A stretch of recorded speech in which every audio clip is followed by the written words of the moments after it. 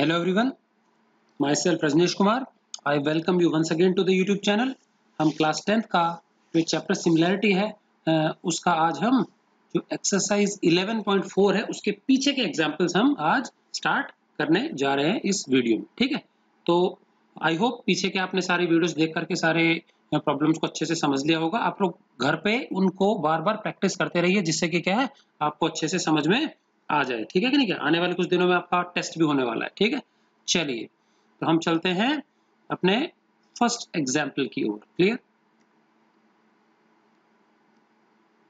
Okay तो आ, क्या कहता है फ़र्स्ट एग्ज़ाम्पल हमारा? देखते हैं। टोटल यहाँ पे आपके 11 क्वेश्चंस हैं एग्जाम्पल्स हैं 11.4 से पहले ठीक है? और इस स्लाइड में आपको example one and example three describe किया जा रहा है। एग्ज़ाम्पल टू थोड़ा बड़ा था तो वो नेक्स्ट स्लाइड में बताया जाएगा। ठीक है? तो आप लोग प्रॉपर सीक्वेंस में नोटबुक में नोट कर लेना। क्लियर है? चलिए तो एग्ज़ाम्पल वन क्या है? देखते हैं। क्वेश्चन क्या कह रहा है? समझते हैं ध्यान से क्या? अच्छा एक बात और है, ये जितने भी एग्जाम्पल्स हैं, इन सब में हमारी पाइथागोरस यूज़ हो सकती है, उसकी कन्वर्स यूज़ हो सकती है, या फिर एरिया थ्योरम याद करेंगे इन सबको, ठीक है? एरिया थ्योरम रिकलेक्ट करेंगे पाइथागोरस रिकलेक्ट कर लेंगे, ठीक है? तो पाइथागोरस थ्योरम कहाँ लगती है? एक राइट ट्रायंगल में। क्या मतलब है इसका? हाइपोटेन्यूज का square equal to perpendicular square plus base square perpendicular base 90 degree वाला जो एंगल है, उसके अगल बगल की साइड्स को कहते हैं। ठीक है कि नहीं का ये तो हो गई पाइथागोरस थ्योरम और एरिया थ्योरम क्या होती है? यदि कोई भी दो triangle triangle one and triangle two similar हो आपस में तो पहले वाला ट्रायंगल का एरिया डिवाइडेड बाय दूसरे ट्रायंगल का एरिया इज़ इक्वल टू क्या होगा? उनका जो भी कॉरस्पॉन्डिंग साइड्स होती है, उसके स्क्वायर के रेशियो के बराबर। मान लीजिए पहला ट्रायंगल एबीसी दूसरा है पी क्यू आर ठीक है कि नहीं क्या? तो ए बी पहली साइड है, उसकी कॉरस्पॉन्डिंग पी क्यू है तो A B square upon P Q square ये आएगा उनके एरिया का रेशियो ठीक है? हम कोई सी भी कॉरस्पॉन्डिंग साइड ले सकते हैं, ठीक है? तो पूरा स्टेटमेंट क्या था? एरिया थ्योरम का? The ratios of the areas of two similar triangles is equal to the ratio of squares of their corresponding sides ये दो मेन थ्योरम्स का यूज़ होगा इन क्वेश्चंस के अंदर। क्लियर है? चलिए तो चलते हैं एग्जांपल वन की ओर। हमको बहुत सिंपल सा एग्जांपल है। एक दीवार है ए बी और इस पे आठ मीटर ऊंचाई पे एक विंडो खिड़की है, ठीक है? और शायद डोर लॉक हो गया है तो हमको एक सीढ़ी लगा करके खिड़की से एंट्री मारनी है। समझ में आ गया? तो बाहर हमने क्या है? सीढ़ी लगा दी। ये ए से सी तक सीढ़ी लग गई है। सीढ़ी जो है लेडर उसकी लंबाई है दस मीटर, लिखा है यहाँ पे। और विंडो कितनी ऊँची है? आठ मीटर। तो आठ मीटर ऊँची विंडो तक पहुँचने के लिए सीढ़ी कितनी लंबी लगाई गई है? दस मीटर। तो सीढ़ी का जो फुट है वो कुछ दूरी पर रखना पड़ेगा दीवार से। तो पूछा गया, दीवार के बेस से कितनी दूरी पर लैडर का फुट होगा? तो मान लेते हैं एक्स मीटर दूर होगा। तो let distance of the foot of ladder foot मतलब उसका जो बेस है लैडर का वो from the base of wall और वॉल के बेस से। ये फुट कितनी दूर है? सपोज़ एक्स मीटर है। तो बताओ ये राइट ट्रायंगल हो गया, क्योंकि दीवार हमेशा परपेंडिकुलर होती है ज़मीन पे, जो 90 डिग्री हो गया। तो मतलब ये 8 ये x, ये 10 तो x निकल जाएगा ना बड़े आराम से। तो by Pythagoras theorem in triangle ABC we have hypotenuse बताओ AC है? तो AC square is equal to बाकी दोनों साइड्स का स्क्वायर का sum AB square plus BC square AC देखेंगे फिगर में क्या दिख रहा है? लेडर की लेंथ 10 मीटर तो 10 का स्क्वायर AB क्या दिख रहा है? 8 वर्टिकल जो हाइट है AB विंडो की। तो ये 8 हो गया 8 का स्क्वायर एंड BC अननोन है, x x का स्क्वायर चलिए। 10 का स्क्वायर होता है 100 8 का स्क्वायर होता है 64 x स्क्वायर। ऐसा कैसा आ गया? 64 इधर के माइनस हो जाएगा। तो x स्क्वायर इक्वल टू क्या आएगा? 100 माइनस 64 100 माइनस 64 होता है 36 तो अगर x स्क्वायर 36 है x कितना होगा स्क्वायर रूट लग जाएगा। और स्क्वायर रूट ऑफ़ 36 कितना होता है? सिक्स होता है। 6 6 आ गया ना ये? तो सिक्स मीटर का मतलब हो गया कि जो लैडर है, उसका जो फुट होगा, वो दीवार के बेस से छह मीटर की दूरी पर होगा। देयरफॉर फाइनल स्टेटमेंट में जो आप लिखेंगे डायरेक्ट वही नहीं मारेंगे। यूनिट लिखना नहीं भूलेंगे। Therefore distance of the foot of ladder from the base of wall कितना है? सिक्स मीटर हो जाएगा। क्लियर है? So this was our question number one बिल्कुल सिंपल था। चलिए क्वेश्चन नंबर थर्ड देख लेते हैं। इसके बाद सेकंड वाला देखेंगे। वो थोड़ा लेंदी हमको दे दिया दो ट्रायंगल एबीसी एंड डीएफ जो कि सिमिलर है आपस में। और इसके एक एक कॉरस्पॉन्डिंग साइड्स हमको दे दी। तो इसमें ए बी दे दिया 2.2 सेंटीमीटर और डी दे दिया 3.3 सेंटीमीटर और देखो सिमिलर दिया तो जब कभी भी दो ट्रायंगल सिमिलर होते हो और उनके एरियाज़ के बारे में कोई जानकारी पूछी जा रही हो, इसका मतलब समझ में आ गया एरिया थ्योरम लगेगी। क्लियर है? चलिए तो टू फाइंड क्या निकालना है हमको? एरिया ऑफ़ पहला triangle divided by area of दूसरा ट्रायंगल मतलब इनका रेशियो निकालना है। तो हम क्योंकि ट्रायंगल पहले से सिमिलर है एरिया थ्योरम लगा सकते हैं। सॉल्यूशन क्या आएगा? Using area theorem in the similar triangles क्या कहती है एरिया थ्योरम यदि दो ट्रायंगल सिमिलर होते हैं तो उनके एरिया का रेशियो कॉरस्पॉन्डिंग साइड्स के स्क्वायर के रेशियो के बराबर होता है। एरिया में दो साइड्स इनटू आएँगे, ठीक है? तो देखो, पहला ट्राइंगल एबीसी है तो area of ABC divided by area of DEF जो कि हमको निकालना भी है। इक्वल टू कॉरस्पॉन्डिंग साइड अब देखो, दिया कौन सा ए बी दिया तो इस, इसमें देखेंगे सीक्वेंस में देखेंगे। अगर मैं यहाँ ए बी लेता हूँ तो मेरे को नीचे डी e लेना पड़ेगा सेम टू सेम और डी e दोनों दे रखा है अपने को। तो इनकी कॉरस्पॉन्डिंग साइड्स ए बी के कॉरस्पॉन्डिंग हो गया डीई e, तो यहाँ लिख देंगे A B square upon D E square हम B C square upon E F square भी लिख सकते थे A C square upon D F square भी लिख सकते थे ठीक है? तो A B square upon D E square ये हो गया। क्लियर है? चलिए तो अब क्या? अभी हमने क्या है, इसकी वैल्यू पुट कर दी ए बी और डी की जगह ए बी आ गया, हमारा 2.2 है तो उसका स्क्वायर कर दिया डी आ गया 3.3 है तो उसका स्क्वायर कर दिया हमने, ठीक है? अब दोनों के ऊपर स्क्वायर है तो हमने क्या कर दिया? एक ही बार में होल स्क्वायर लगा दिया 2.2 point two by three by three कर सकते हैं ऐसा? बिल्कुल कर सकते हैं। फिर देखो, दोनों में एक एक के बाद डेसिमल हटा दिया डेसिमल तो ये हो गया 22 ये हो गया 33 अब अंदर कट जाएगा 11 से। 11 टू जा 11 थ्री जा तो टू थ्री और ऊपर होल स्क्वायर आ गया। 2 बाई थ्री का होल स्क्वायर कितना होता है? फोर बाय 9 तो देयरफॉर क्या आया हमारा? Area of triangle ABC upon area of triangle DEF two क्या आ गया? 4 बाय नाइन या फिर इसी को 4 इज़ टू नाइन भी लिख सकते हैं। क्लियर है? तो ये था हमारा कौन सा? क्वेश्चन नंबर थ्री क्लियर है? चलिए, आगे बढ़े। ये हमारा क्वेश्चन नंबर सेकंड आ गया। थोड़ा सा बड़ा है मैंने सारा जो रफ वर्क है एक एक स्टेप यहाँ लिखा है ताकि आपको कोई प्रॉब्लम नहीं हो। ठीक है? ओके डायरेक्शन के बारे में सबको ज्ञान होगा अच्छे से कि हमारा जो मैप होता है, जो भी हम फिगर्स देखते हैं, कैसा होता है? नॉर्थ साउथ ऐसे वर्टिकल ऊपर नॉर्थ है, नीचे साउथ है और इधर ईस्ट है और लेफ़्ट में क्या होता है? वेस्ट होता है, ठीक है? मैप में देखे तो। ये हमारी चार दिशाएँ हैं। और सपोज़ हम यहाँ सेंटर पे हैं। अगर हमको सेंटर में खड़ा कर दिया जाए और बोले कि नॉर्थ में जाना तो ऊपर जाना पड़ेगा साउथ में जाना तो नीचे जाना पड़ेगा ईस्ट में जाना तो इधर वेस्ट में जाना तो लेफ़्ट में, ठीक है ना? तो हमारा एक एयरपोर्ट है जो कि बी पॉइंट पर है। एयरपोर्ट क्या बी पॉइंट पे एयरबेस है। अब यहाँ से दो एरोप्लेन एक साथ उड़ान भरते हैं। एक तो नॉर्थ की तरफ़ उड़ जाता है तो ऊपर जाना पड़ेगा इस पॉइंट से और एक उड़ जाता है वेस्ट की तरफ़, एक ही समय, एक साथ। समझ में आ गया? तो बी एयरपोर्ट से one of the aeroplane it flies due north due मतलब की ओर नॉर्थ की ओर उड़ गया। आप क्वेश्चन पढ़ लेंगे टेक्स्ट बुक में से। And at the same time another aeroplane flies due west. समझ में आ गया? तो ये वेस्ट की ओर उड़ गया। अब दोनों की स्पीड अलग अलग है। जो नॉर्थ की तरफ़ उड़ा, उसकी स्पीड बुक में दी हुई है थाउज़ेंड किलोमीटर पर आवर। जो वेस्ट में उड़ा, उसकी स्पीड दी हुई है twelve hundred kilometre per hour. मैंने दोनों की लिख दी है फिगर में। यहाँ तक क्लियर है चलिए। अब उड़ गए। अब ये दोनों के दोनों डेढ़ घंटे तक उड़ते रहे। डेढ़ घंटा होता है one and half hour one and half को मैं थ्री बाई टू ले सकता हूँ। प्रॉपर फ्रैक्शन है। मिक्स फ्रैक्शन को, ठीक है? तो डेढ़ घंटा, ये उड़ा, डेढ़ घंटे उड़ा। तो डेढ़ घंटे उड़ने के बाद में ये पहुँच गया सपोज़ ए पॉइंट पर, ये पहुँच गया सी पॉइंट पे। तो पूछा जा रहा है, डेढ़ घंटे की उड़ान के बाद में दोनों के बीच का डायरेक्ट डिस्टेंस क्या है? मतलब ए सी क्या है? और हमको पता है कि जो डायरेक्शन नॉर्थ है और जो डायरेक्शन वेस्ट है, इसके बीच में एंगल क्या होता है? 90 डिग्री होता है। चारों मेन डायरेक्शन के बीच में एंगल 90 तो होता है। तो ये 90 तो ये राइट ट्रायंगल बन गया ए बी सी समझ में आ गया? तो अब मुझे बताओ हमको ये दूरी निकालनी पड़ेगी ए बी और बी सी अच्छा ये थाउज़ेंड और ट्वेल्व ये दूरियाँ नहीं है तो स्पीड है। समझ में आ गया? तो देखो, हमको बी से ए तक एरोप्लेन इस स्पीड से गया। स्पीड पता, कितना समय तक उड़ा, डेढ़ घंटा टाइम पता तो दूरी निकाल लेंगे। इसी प्रकार से जो एरोप्लेन बी से सी गया स्पीड पता है टाइम पता है सेम डेढ़ घंटा उड़ा तो दूरी निकाल लेंगे। समझ में आ गया? तो हम मान लेते हैं, उड़ान शुरू करने के बाद में दोनों एरोप्लेन के बीच की जो दूरी है, डेढ़ घंटे के पश्चात सपोज़ एक्स है ए से लेकर सी तक। डेढ़ घंटे के बाद की दूरी है, ठीक है? तो let distance between the two aeroplane one and half hour तो ये थ्री बाई टू हो जाएगा, ठीक है? आफ्टर टेक ऑफ़ उड़ान भरने के डेढ़ घंटे बाद, मान लीजिए उनके बीच की दूरी कितनी है? एक्स किलोमीटर है। और हमको पता है स्पीड का फॉर्मूला क्या होता है? Speed equal to distance upon time तो डिस्टेंस हो जाएगा स्पीड इनटू टाइम तो डी बराबर हो गया स्पीड इनटू टाइम तो ये डिस्टेंस निकालना हमको। पहले फ़र्स्ट एरोप्लेन का निकालेंगे जो नॉर्थ में उड़ा फिर सेकंड का निकालेंगे जो वेस्ट में उड़ा तो देखिए स्टेटमेंट लिख देंगे।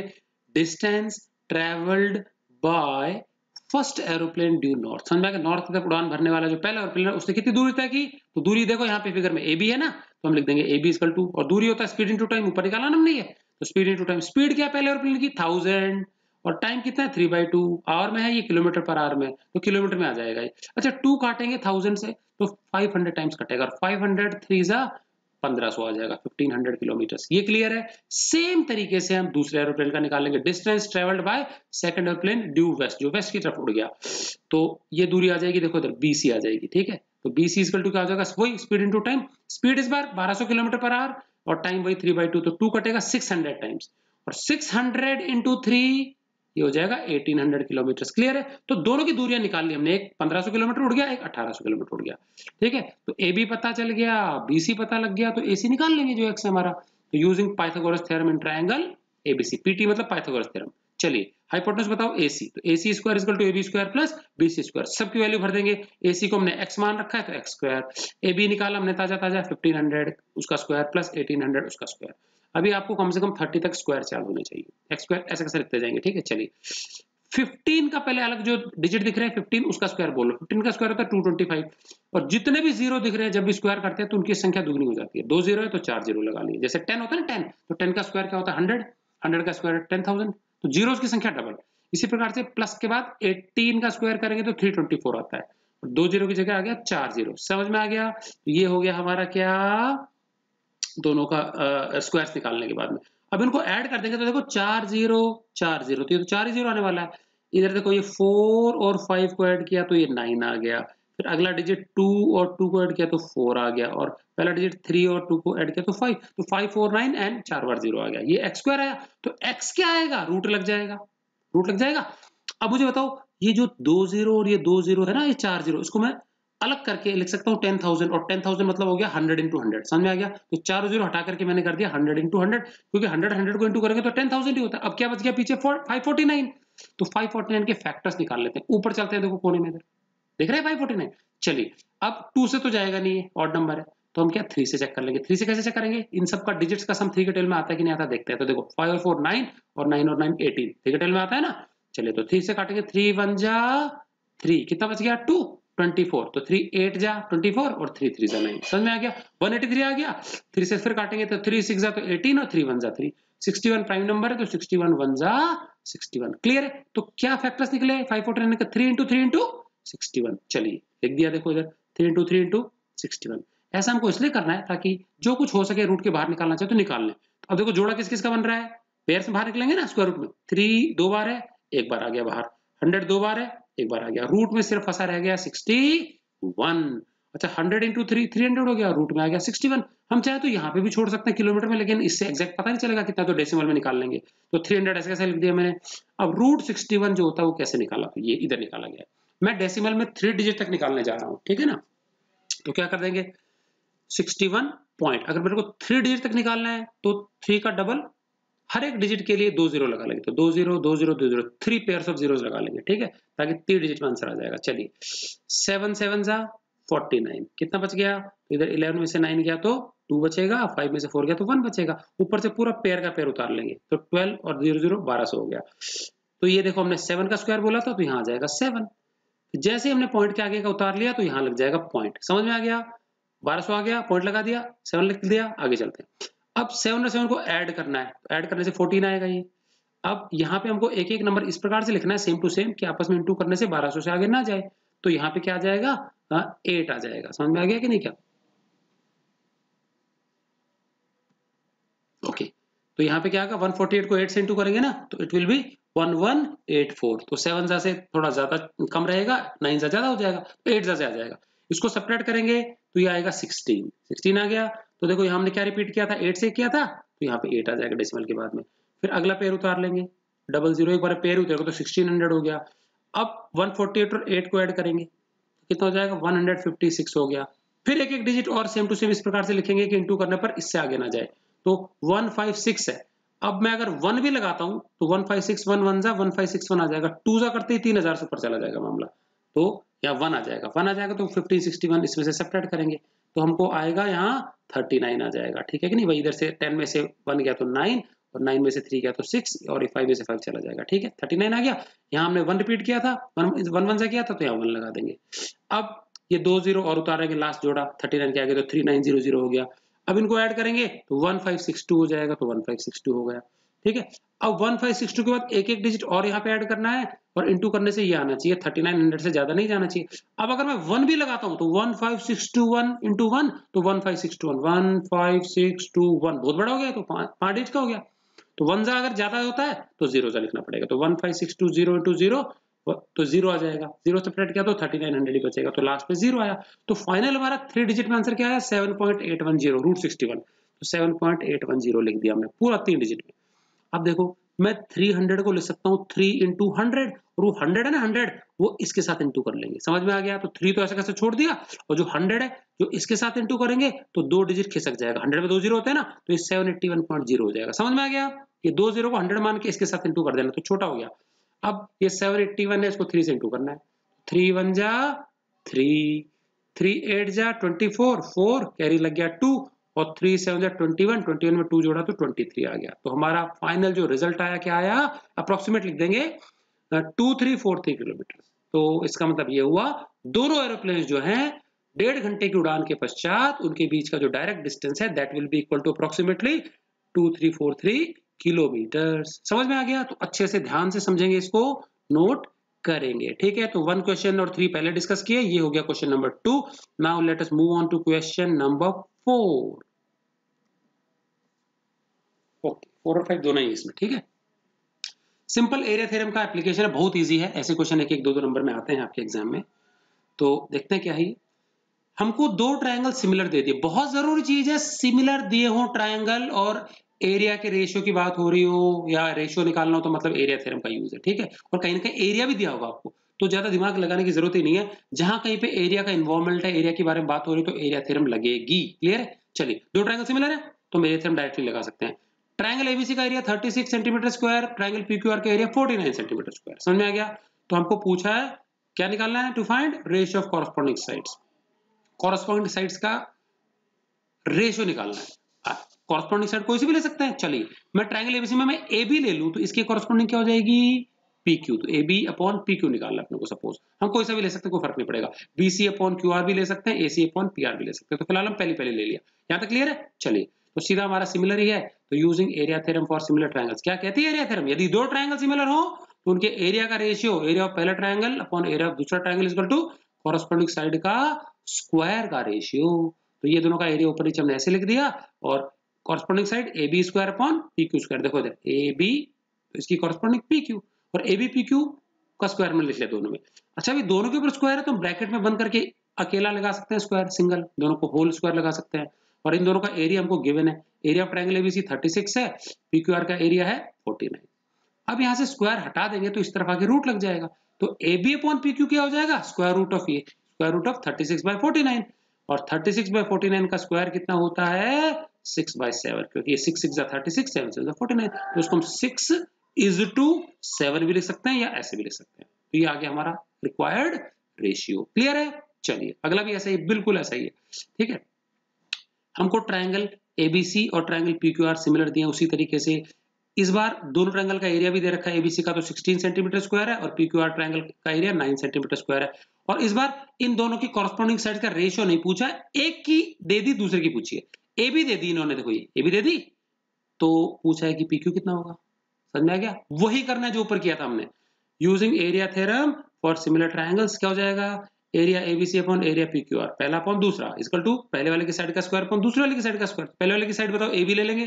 तो ए बी का स्क्वायर अपॉन पी क्यू का स्क्वायर देखो यार शुरू की दो साइड ए बी का स्क्वायर अपॉन पी क्यू का स्क्वायर लिख दिया A B square upon P Q square तो अब मुझे बताओ A B square upon P Q square में से किसका साइड पता है? अपने को ए भी पता है ना? देखो टू पॉइंट वन दे रखा है। तो यहाँ लिख देंगे टू पॉइंट वन का स्क्वायर अपॉन नीचे वाला नहीं पता पी क्यू का स्क्वायर अब मैं दोनों को ब्रैकेट में होल स्क्वायर लगा सकता हूँ दोनों के ऊपर है। तो two point one upon P Q का होल स्क्वायर आ गया।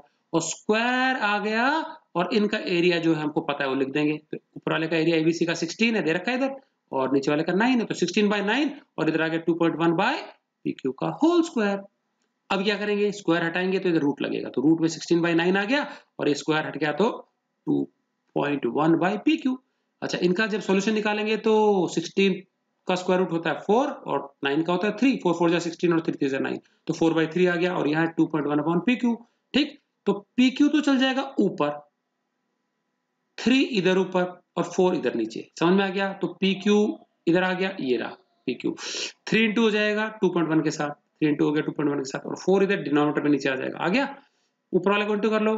Twenty one three sixty three होता है और एक पॉइंट लगेगा तो थ्री के बाद इधर पॉइंट लग गया. ठीक है? आगे मैं ज़ीरो लगा सकता हूँ, कोई फ़र्क नहीं पड़ेगा। ये सिक्स पॉइंट थ्री आया था लास्ट में ज़ीरो लगा सकते हैं, क्योंकि हमको फोर से डिवाइड करना है। अब अगर हम फोर से डिवाइड करना चाहे तो कैसे करेंगे, देखेंगे। फोर वनजा वनजा कितना आया? फोर तो फोर गया, छह में से कितना बच गया? टू बच गया। तो ट्वेंटी थ्री हो गया। थ्री के पीछे लग गया ट्वेंटी थ्री तो फोर का टेबल बोल ट्वेंटी थ्री में। पॉइंट है तो पॉइंट लगा देंगे। तो फोर का टेबल ट्वेंटी थ्री में बोलेंगे तो फोर फाइव जा ट्वेंटी जाएगा। फाइव जा ट्वेंटी थ्री बच गया। तो थ्री अगले वाले ज़ीरो के पीछे लगा देंगे तो थर्टी हो गया। तो फोर सेवन जा ट्वेंटी एट तो थर्टी में से ट्वेंटी एट गया तो कितना बच गया? टू बच गया। और आगे एक और ज़ीरो लगा सकते तो ट्वेंटी हो जाएगा तो फोर फाइव ट्वेंटी समझ में आ गया? तो जब तक जाता है, पूरा निकाल लेंगे। आगे एक और ज़ीरो लग जाएगा इसमें। समझ में आ गया? पूरा निकालने पर हमारा आंसर आया one point five six five seven five अब ध्यान देने वाली बात। हमारे यहाँ देखो कोई भी जो आंसर है, ये तो होल नंबर में डेसिमल में यूज़ किया तो डेसिमल के आगे देखो उन्होंने मैक्सिमम एक ही डिजिट दिया तो हम भी आंसर में डेसिमल के आगे एक ही डिजिट देंगे। समझ में आ गया? जैसा हमको क्वेश्चन में दिया जाता है, वैसा ही आंसर में। तो डेसिमल के आगे एक डिजिट है तो हमको भी एक ही में राउंड ऑफ़ करके बताना है। तो देखो, हमको डेसिमल के आगे सिर्फ़ पाँच को रिटेन करना है तो पाँच के आगे का डिजिट देखेंगे। अगर पाँच के आगे का डिजिट बड़ा वाला हो, बड़ा वाला मतलब five six seven eight nine इनमें से कुछ होता है तो हटा करके ये एक बढ़ जाएगा। ठीक है? और अगर आगे का डिजिट छोटा होता है ना zero one two three four तो हटा देना है, इसको बढ़ाएँगे नहीं। तो फ़िलहाल देखो फाइव तक रखना है अपने को। दो, एक डिजिट तक रखना है तो इसके आगे देखो ये है ना। पाँच छह, चार से है तो मतलब पाँच, छह, सात, आठ, नौ। इनमें से कुछ भी होगा तो ये हटा देंगे और पीछे वाले को एक बढ़ा देंगे तो 1.6 सेंटीमीटर अप्रोक्सीमेटली। कब नहीं बढ़ाते? जब ये छोटा होता। Zero one two three four होता तो हम ऐसा कैसे रख लेते इसको। समझ में आ गया? तो फाइनली पी क्यू जो हमको निकालना था, वो कितना आ गया हमारा? 1.6 सेंटीमीटर अप्रॉक्स लिख देंगे। ठीक है, जब भी डेसिमल से इन्वॉल्व होते हैं। राउंड ऑफ़ करते हैं तो अप्रॉक्स पक्का लिखना। क्लियर है? तो ये था हमारा क्वेश्चन नंबर फाइव चलिए, आगे चले। ओके ये हमारा क्वेश्चन नंबर सिक्स है एग्जाम्पल्स में। बढ़िया क्वेश्चन है, थोड़ा ध्यान से समझेंगे। हमको एक ट्रायंगल एबीसी दिया। ठीक है? याद रखेंगे एरिया थ्योरम सिमिलर ट्रायंगल्स में लगती है। अभी तक जो ट्रायंगल्स दिए थे, हमको सिमिलर दे रखे थे। अब यहाँ पे ट्रायंगल एबीसी है। समझ में आ गया? ओके फिर क्या लिखा है? डीई e एक लाइन सेगमेंट है जो बीसी के पैरल है। दिख गया? डीई पैरेलल टू बीसी उसके बाद एडी बाय डीबी ये रेशियो दे दिया। वन टू टू मैंने जो फिगर में दिखा रखा है। ये अगर एडी वन है तो ये कितना टू है तो वन टू टू इसका रेशियो दे दिया। क्लियर है? क्या निकालना है? अब अगर ये देखो पैरल हो गया ना डी e, तो मतलब ऊपर वाला तो छोटा एक ट्रायंगल हो गया नीचे वाला हिस्सा देखो ये और ये पैरल हो गया तो ट्रेपिजियम हो गया ना। क्या होता है ट्रेपिजियम एक ऐसा कोऑर्डिनेटर जिसमें दो साइड्स आमने सामने की पैरल हो जाए कोई भी एक जोड़ा। तो ये क्या चाहिए इसको? एरिया ऑफ़ ट्रेपिजियम बीडीईसी मतलब नीचे वाला जो ट्रेपिजियम बन गया, उसका एरिया अपॉन ऊपर वाले का एरिया समझ में आ गया? तो एरिया ऑफ़ ये नीचे ट्रेपिजियम बीडीईसी ये अपॉन एरिया ऑफ़ ऊपर वाला ट्रायंगल एडी तो इनका रेशियो चाहिए। इसका ऊपर, इसका नीचे लिखना है। चलिए, देखते हैं। एरिया की बात हो रही है रेशियो की बात हो रही है तो एरिया थ्योरम के बिना नहीं निकल पाएगा। चलिए, अब एरिया थ्योरम लगाने के लिए क्या करना पड़ेगा? ट्रायंगल्स में लगती है, और यहाँ फ़िलहाल हमको सिर्फ़ दो ही ट्रायंगल दिख रहे हैं। एक तो ऊपर छोटा एडीई और एक साबुत ए बी सी तो इनमें एरिया थ्योरम डायरेक्टली नहीं लगा पाएँगे। पहले हमको दोनों को सिमिलर करना पड़ेगा। समझ में आ गया? चलिए सिमिलर करने के लिए हमको हेल्प के लिए हमको ये देखो पैरल दिया हुआ ना डी तो बहुत आसान है। तो हमको सिर्फ़ दो दो एंगल मैच कर देना। तो एंगल ये तो कॉमन ही हो गया, दोनों में देखो। छोटे ट्रायंगल में भी है, बड़े में भी है। और एंगल वन बराबर एंगल टू कर सकते हैं कॉरस्पॉन्डिंग एंगल्स तो ए ए सिमिलैरिटी से ट्रायंगल ए डी ई और triangle A B C similar हो जाएँगे। तो पहला काम ये करना है, देखेंगे। सोल्यूशन पे आ जाते हैं। जब यहाँ पे फाइंड करना है, कुछ खोजना है तो यहाँ सॉल्यूशन लिखेंगे। जब यहाँ पे प्रूव करना है टू प्रूव तो यहाँ पे प्रूफ लिखेंगे। इस चीज़ का हमेशा ध्यान रखेंगे। ठीक है कि नहीं क्या? गिवन हमेशा लिख लेना है फिगर हमेशा बना लेना है। तो पहले सिमिलर कर रहे हैं, दोनों ट्रायंगल्स को? तो छोटे का नाम पहले लिख रहा हूँ, बड़े का नाम बाद में लिख रहा हूँ। In triangle A D E and triangle A B C समझ आ गया? ए डी ई ए बी सी चलिए, क्या एंगल वन और एंगल टू बराबर हो जाएँगे? यस वन और टू बराबर हो जाएँगे, क्योंकि देखो डीई e और बीसी पैरेलल है। दे है ना अपने को तो ये कॉरस्पॉन्डिंग एंगल्स का पेयर हो गया. एंड एंगल एंगल दोनों में ही है. कॉमन हो गया? तो दो दो एंगल मैच होने का मतलब है by A A similarity criterion triangle ADE similar हो गया ट्रायंगल एबीसी के. सिमिलर हो गए जी. अब क्या? अब एरिया थ्योरम लगा सकते हैं. पिछले वालों में सिमिलर दिया था पहले से या नहीं दिया था तो सबसे पहला काम सिमिलर करना पड़ा. हमेशा ध्यान रखना है. चलिए एरिया थ्योरम लगाए. क्या कहते हैं एरिया थ्योरम कि जो दो ट्रायंगल सिमिलर हो जाते हैं, उनका एरिया का रेशियो तो देखो, मैंने ऊपर लिख दिया एडीई नीचे लिख दिया एबीसी इनका एरिया एरिया का रेशियो क्या होता है? कॉरस्पॉन्डिंग साइड्स का स्क्वायर का सम हमको कॉरस्पॉन्डिंग साइड्स कोई सी भी ले सकते हैं, लेकिन लेनी वो है जिनके बारे में बात की गई। देखो एडीडीबी के बारे में बात की गई और एडीडीबी इस तरफ़ के हैं। ये कॉरस्पॉन्डिंग साइड्स लेनी है, चलिए। तो ऊपर वाले ट्रायंगल में हम ले लेते हैं एडी एडी लिख दिया? तो अगर इसमें एडी लिया तो नीचे ए बी ही लेना पड़ेगा। समझ में आ गया कॉरस्पॉन्डिंग तो हमने लिख दिया AD square upon A B square यहाँ तक क्लियर है? होल स्क्वायर लगा देंगे एडी अपॉन ए बी का होल स्क्वायर यहाँ तक क्लियर है? अब मुझे बताओ एडी अपॉन डी बी पता है अपने को एडी अपॉन डी बी पता है? एडी अपॉन ए बी तो नहीं पता। तो एक काम करते हैं एडी को छोड़ देते हैं ए बी को तोड़ लेते हैं। ए बी देखो कहा ए बी ए से लेकर के बी तक। तो ए से लेकर के बी तक की जो दूरी इसको ले सकता हूँ? A D plus D B नीचे वाले को ए बी को। तो मैंने ए बी को नीचे लिख दिया। बाकी सब सेम टू सेम है। A D plus D B A D plus D B अब इनकी वैल्यूज़ भर लेते हैं। अगर ए डी वन है, अगर ए डी क्या है? वन है तो मैंने ए डी की जगह लिख दिया वन। तो ए डी प्लस डीबी कितना है? देखो ए डी प्लस डीबी तो one plus two one plus two समझ में आ गया? तो ऊपर तो आ गया वन, और नीचे वन प्लस टू थ्री होता है, और वन बाई थ्री का होल स्क्वायर करेंगे तो वन का स्क्वायर तो वन, और थ्री का स्क्वायर होता है नाइन तो ये आ गया वन बाई नाइन क्लियर है क्या? तो फाइनली हम कहाँ पहुँचे? राइट साइड में आ जाएँगे। दोनों ट्राइंगल्स एडीई और एबीसी जो है छोटा और बड़ा, उसके एरिया का रेशियो आ गया वन बाय नाइन आ गया। यहाँ तक क्लियर है?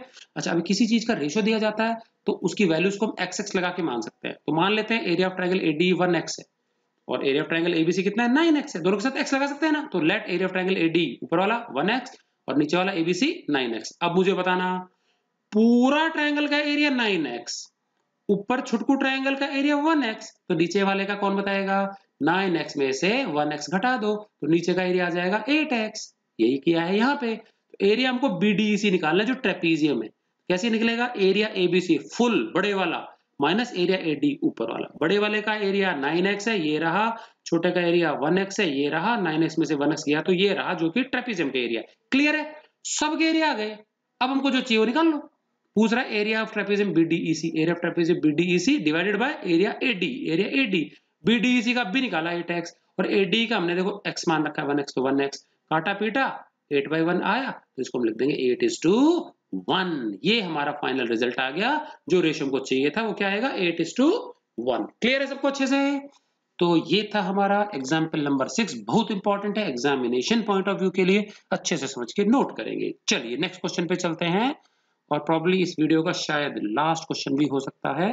ज़्यादा लंबा ना हो जाए वीडियो ये तो चक्कर आ सकते हैं समझने में। ओके सेवेंथ क्वेश्चन क्या दिया है? देखते हैं। हमको ट्राइंगल ए बी सी दिया है। बच्चों, इस क्वेश्चन में थोड़ी सी लैंग्वेज मिस्टेक है आपकी टेक्स्ट बुक में। तो मैं करेक्ट कर दूँगा। जब मैं समझा रहा हूँ तो एक बार टेक्स्ट बुक टेक्स्ट बुक को खोल करके वहाँ पे भी करेक्शन कर लेंगे। ठीक है ना? क्या बुक कहना चाह रही है? क्या निकाल रही है? कुछ भी कर रहे हैं वो लोग। चलिए, हमको दे दिया ट्राइंगल ए बी सी लिख दिया ट्राइंगल ए बी सी बीच में एक line segment P Q parallel है ए सी के लिख दिया P Q parallel A C और हमको बीपी बाई बी ए का रेशियो दे दिया। देखो यहाँ नीचे से चालू करना है। बीपी छोटा अपॉन बी ए पूरा। ये है वन बाई रूट टू समझ में आ गया? बीपी अपॉन बी ए ये है one by root two clear है? तो पूछना क्या चाह रहा है क्वेश्चन ये पूछना चाह रहा है, ये क्या है प्रूव करवाना चाह रहा है कि ये जो प्रूव करो पी क्यू ने इस पूरे बड़े ट्रायंगल के जो दो टुकड़े किए हैं, इन दोनों का एरिया बराबर है। अर्थात इस ट्रायंगल का एरिया और इस ट्रेपिज्म का एरिया बराबर है। ये लाना है को, समझ में आ गया? तो देखो, क्या प्रूव करना है? To prove PQ divides triangle ABC समझ में आ गया? PQ ट्रायंगल ABC को डिवाइड कर रहा है into two parts of equal area समझ में आ गया? बराबर क्षेत्रफल के दो हिस्सों में। बुक क्या है? कह रही है कि prove that PQ divides triangle ABC in the same ratio same ratio का क्या मतलब है? इक्वल एरियाज़ में बोलेंगे। सेम रेशियो में नहीं बोलेंगे, ठीक है कि नहीं क्या? ट्रायंगल का रेशियो नहीं होता एरिया का रेशियो होता है, ठीक है? तो दोनों हिस्सों का एरिया बराबर, ये साबित करना है। इसका एरिया बराबर इसका लाना है, ठीक है? चलो। फिर एरिया की बात हो रही है, और हमको कहीं पे भी कुछ भी सिमिलर नहीं दिया तो सबसे पहला काम ये छोटा ट्रायंगल और एक बड़ा ट्रायंगल इनको आपस में सिमिलर कर लेंगे। बहुत आसान अभी किया था वैसे ही, बस ट्रायंगल लेट गया थोड़ा सा। ये पैरल दिया हुआ है? पी क्यू पैरल किसके एसी के? तो एंगल वन एंगल टू के बराबर कर देंगे, और बी हो जाएगा कॉमन तो ये छोटा ट्रायंगल और ये बड़ा ट्रायंगल सिमिलर हो जाएँगे। नाम पहले मैं छोटे का लिख रहा हूँ। नीचे से स्टार्ट करेंगे। बी पी क्यू और बी ए सी सिस्टम समझ में आ गया? तो देखेंगे। In triangle Q and triangle BAC समझ में आ गया? ये कॉमन वाले से स्टार्ट किया। ए सी चलिए angle B angle B common हो गया। क्लियर है? एंड एंगल वन जो है, छोटे वाले में और एंगल टू बड़े वाले में, ये कॉरस्पॉन्डिंग एंगल्स हो गए बराबर, क्योंकि ये दोनों लाइंस क्या है? पैरेलल है PQ and B PQ and C sorry ठीक है? तो angle one is equal to angle two corresponding angles between parallel lines PQ and C and hence by A A similarity criterion दो दो angle match हो गए? तो triangle BPQ and triangle BAC हो गए सिमिलर सिमिलर हो गए तो अब हम क्या कर सकते हैं? हम लगा सकते हैं एरिया थ्योरम ठीक है? चलिए, क्या कहते हैं एरिया थ्योरम इस छोटे ट्रायंगल का एरिया अपॉन बड़े ट्रायंगल का area equal to corresponding sides का स्क्वायर का रेशियो क्लियर है? चलिए तो देखो एरिया बीपी के ऊपर बीएसी एरिया नीचे इसको टू कोई भी कॉरस्पॉन्डिंग साइड्स का स्क्वायर का रेशियो कौन सी साइड ले लेंगे? जिनके बारे में बात हो रही है, इस तरफ़ की ये वाली, जो भी इधर की साइड है। तो बीपी ले लेंगे और बीए ले लेंगे। तो देखो इधर, इसमें ले लिया हमने बीपी शुरू की दोनों बीपी का स्क्वायर इधर बीए बीए का स्क्वायर और बीपी अपॉन बीए का होल स्क्वायर लगा सकते हैं। बीपी बाय बीए पता है। देखो ये रहा, ऊपर दीवार तो क्या हम इस ब्रैकेट में लिख सकते हैं? वन बाई रूट टू लिख लिया जी one by root two clear है यहाँ तक? अब वन बाई रूट टू का स्क्वायर करेंगे तो वन का स्क्वायर तो वन होता है। रूट टू का स्क्वायर होता है टू रूट हट जाएगा। क्योंकि दो बार root two into root two pair बन जाएगा, हट जाएगा। अब क्या करना है? इन दोनों में से छोटा वाला हिस्सा नीचे ले आओ। तो देखो बीपीक्यू और बीएससी में से छोटा कौन सा है? बीपीक्यू का एरिया और बीएससी छोटा बीपीक्यू है, इसको नीचे ले आएँगे। तो बाय इनवर्ट एंड उल्टा कर सकते हैं रेशियो तो एरिया बीएससी ऊपर आ गया बीपीक्यू नीचे आ गया और इसको भी उल्टा कर दिया तो टू बाई वन और टू बाई वन तो टू ही होता है तो इसको हम टू भी ले सकते हैं। क्लियर है? तो हम पहुँच गए यहाँ पे। अब इसमें से वन घटाएँगे दोनों तरफ़ से, क्योंकि मेरे को पता है, इसका एरिया पॉन इसका एरिया चाहिए, ना कि छोटा पॉन पूरा। तो मेरे को दोनों छोटे हिस्से चाहिए, और दोनों छोटे हिस्से करने का क्या तरीका है? Subtract one from both side ठीक है? तो मुझे इसका एरिया डिवाइड बाय इसका एरिया चाहिए वन आना चाहिए रेशियो तभी तो दोनों का मतलब बराबर हो गया। दो चीज़ें बराबर होती है तो उसका रेशियो वन आना चाहिए। तो मुझे तो बीपी क्यू और ये जो ऊपर का ट्रेपीजियम है, इसका रेशियो वन चाहिए। ठीक है ना?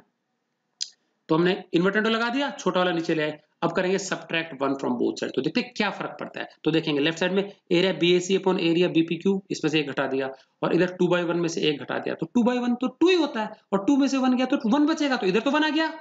अब इधर देखते हैं। एलसीएम लेंगे एरिया बीपीक्यू ऐसा कैसा?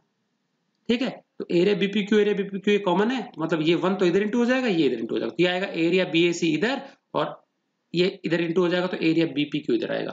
अब एरिया बीएसी में से एरिया बीपीक्यू घटाओ। देखो एरिया बीएसी फुल इसमें से एरिया बीपीक्यू छोटा तो क्या बचेगा? Area of trapezium APQC area of trapezium APQC समझ में आ गया? तो एपीक्यूसी का एरिया ट्रेपेजियम को ट्रायंगल बीपीक्यू जो कोने में इसका एरिया का रेशियो वन आया। तो ये मैं इधर ला सकता हूँ कि नहीं? तो एरिया एपीक्यूसी किसके बराबर हुआ? एरिया बीपीक्यू यही तो लाना था इसका एरिया और इसका एरिया क्या आएगा? बराबर आएगा पीक्यू जो है, इस बड़े ट्रायंगल एबीसी को दो इक्वल एरियाज़ वाले ट्रायंगल्स में डिवाइड कर रही है। क्लियर है? तो ये था बच्चों हमारा क्वेश्चन नंबर सेवन आज के वीडियो का आखिरी क्वेश्चन ठीक है? अब इसके बाद हमारे रह गए eight nine ten and eleven only four question are remaining so we will discuss the remaining four question in the coming video that is the next video hope आप सबको अच्छे से समझ में आ गया होगा। वीडियो को पूरा देखेंगे आखिर तक, नहीं समझ में आए बार बार देखेंगे और प्रॉपरली समझने के बाद में ही नोट करेंगे। और समय समय पे दो चार दिन से इनको क्या रफ नोटबुक में एक बार प्रैक्टिस भी करते रहेंगे, ठीक है? ताकि आप इनको बिना गलती के कर पाए। क्लियर है? Okay thank you for watching